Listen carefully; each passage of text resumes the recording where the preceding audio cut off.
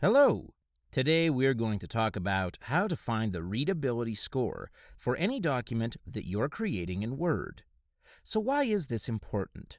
Well, Word is used by people all over the world for a wide variety of applications.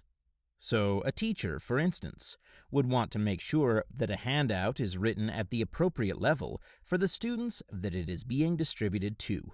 In addition, if you deal with international clients or customers, you may want to make sure that documents distributed to them are written at a level that is consistent with their English language skills.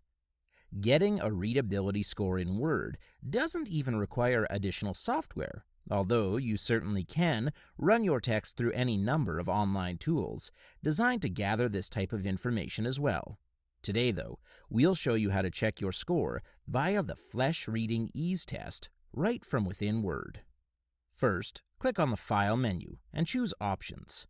Then navigate to the Proofing tab. Under the When Correcting Spelling and Grammar in Word heading, you'll see a box that says Show Readability Statistics. You want to check this box.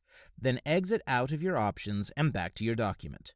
Now, run a standard spelling and grammar check just like you would any other time. You will then be able to see scores based on two tests. The first is the Flesch Reading Ease test that I mentioned earlier, and the second is the Flesch Kincaid grade level score. The higher the score on the Reading Ease test, the easier the document is thought to be to read. If your document is at least 60, it should be relatively easy to read, although you can aim for higher scores if increased readability is important to you.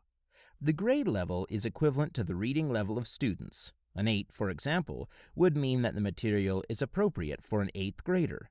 If you hit somewhere between 7 and 8, it should be very readable for the majority of people. Hopefully you found this helpful. If you have any questions, just leave them in the comments section below. Thanks for watching and have a great day.